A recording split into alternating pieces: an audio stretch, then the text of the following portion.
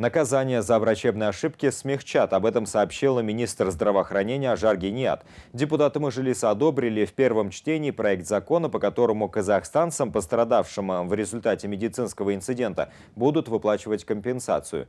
Министр сообщила, что в 2018-2020 годах поступило более 14 тысяч обращений. Ежегодно за ненадлежащее выполнение профессиональных обязанностей в отношении медработников заводится порядка 300 дел.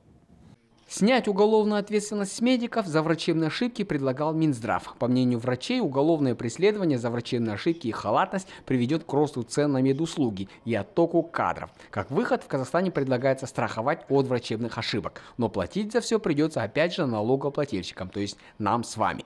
Медики уверены, что собирать взносы с врачей нельзя, так как у них и без того низкая зарплата, в отличие от западных коллег. Поэтому предлагается включить страхование от несчастных случаев в клиниках в тариф, то есть есть оплачивать врачебную ошибку будет сам пациент. Законопроектом также предлагается снизить размер штрафа и срок ареста за неумышленное причинение среднего и тяжелого вреда здоровью когда без умысла оказана медицинская помощь, но без умысла э, нанесен вред э, здоровью человека.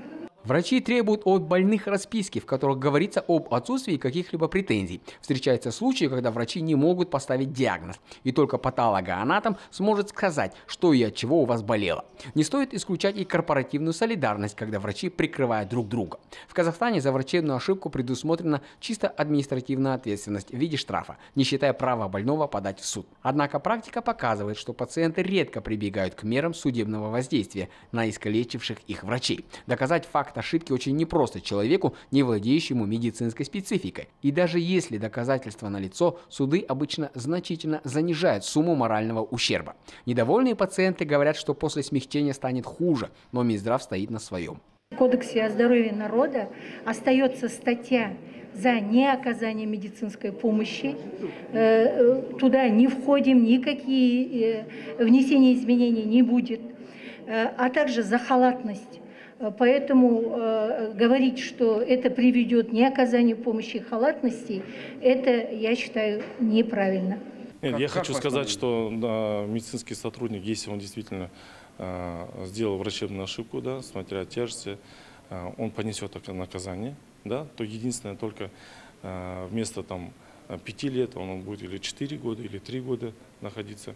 Дальше вместо слов лишения свободы, ну, вот, э, слова заменены на ограничение свободы, мы пришли к такому общему выводу с Генеральной прокуратурой.